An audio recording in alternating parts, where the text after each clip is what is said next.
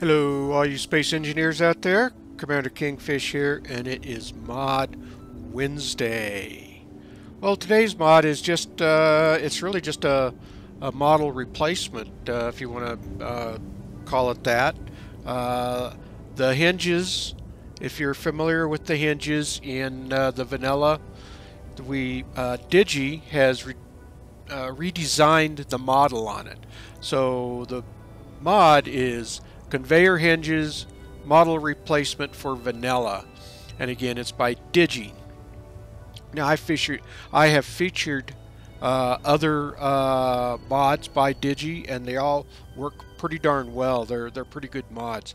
This one's pretty cool mod in that uh, it basically replaces the model. You can kind of see what it looks like. It's still a hinge and it's got the animated uh, matter of fact, I will click it here. Uh, actually, I've got it just, uh, let me hop in. Let's go in and reverse it. So you can see the model itself is turning. Now it's going to go uh, 45 degrees the opposite direction. And you can see that the, the model looks pretty cool. I kind of like it actually. Uh, I think it looks better than the uh, uh, original mod. Although the original mod is pretty good.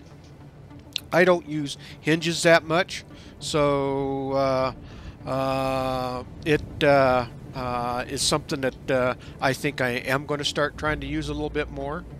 But yeah, it's a model replacement for hinges. There's the hinge part.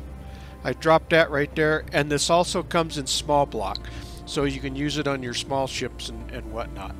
The other thing I like about this hinge versus the vanilla hinge is you have a display port right here or a control port so you can get into your hinge right from here and make all of your adjustments where on the vanilla one it does not have this uh, display port right here so uh, another advantage to using these types of conveyor hinges.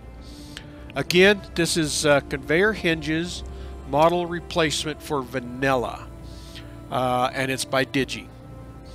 Alright, if you like this video, please hit that thumbs up. It really helps the video out a lot, and uh, please subscribe. That really helps the channel.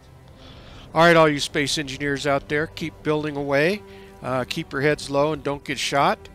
Uh, and with that, Commander Kingfish is out of here, and I will see you all in the next video. Thanks for watching, everyone.